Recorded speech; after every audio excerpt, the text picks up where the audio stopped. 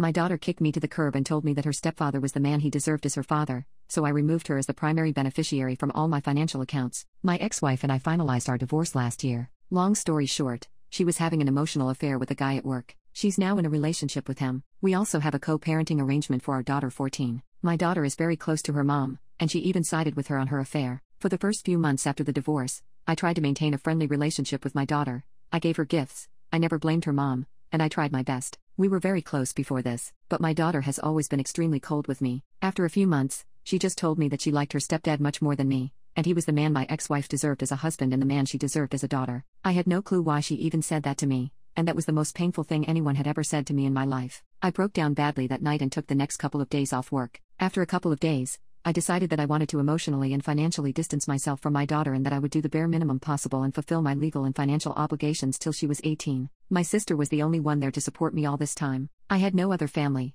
my parents were long gone. My sister had gone through a similar thing a few years ago, her husband had cheated on her. Luckily, she had no children, but that experience had devastated her so much that she said she wasn't going to date ever again because she had lost trust in all men. After I had decided to distance myself from my daughter, I removed her as the primary beneficiary from all my financial accounts, my 401k, etc., and instead put my sister as the beneficiary. I started withdrawing from the college funds I had saved for my daughter and used them on myself and my sister. This wasn't a one way thing, my sister earns more than I do, and over the past few months, I have received more gifts from her than I have received from my ex wife in my entire life. We also went on a two week vacation to Europe. All in all, I have emotionally and financially distanced myself from my daughter, and I am doing the absolute bare minimum possible. I have plans to never speak to her again after she turns 18. I just want to finish off my legal and financial obligations to her. My daughter has noticed this change in my behavior, but she hasn't said anything yet. Update My daughter learned about my financial decisions a few months after I made them. She went to my house and snooped in my office. She saw the paperwork but noticed that her name was longer listed as the primary beneficiary. Instead,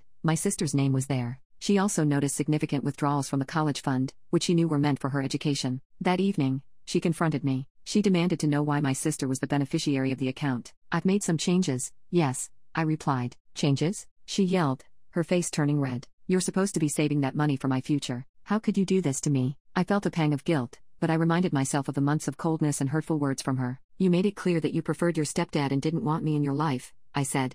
I've decided to fulfill my legal obligations, but beyond that, I need to protect myself, too. She said that I was abandoning her and taking away her future. I told her, you told me he was the man your mom deserved and the father you deserved. That hurt more than anything I've ever experienced. I needed to step back to heal. She was livid. So you just cut me off? Do you even care about me at all? I answered. Of course, I care about you, but I can't keep pouring myself into a relationship where I'm not wanted. You sided with your mom and her affair. You made your choice. My daughter stormed out of the house that night, slamming the door behind her. I didn't know where she went, but knew she needed time to process everything. I felt torn. Part of me wanted to chase after her and beg for forgiveness, but another part knew I had to stand my ground for my sanity. A few days later, my ex wife called. She was furious. She said that I was destroying my relationship with our daughter. I told her I wanted a relationship with my daughter where I was respected and valued, and she made it clear she didn't feel that way about me. My ex wife hung up, and I felt the weight of the situation pressing down on me. I knew this was a pivotal moment in my relationship with my daughter, and I hoped that, in time,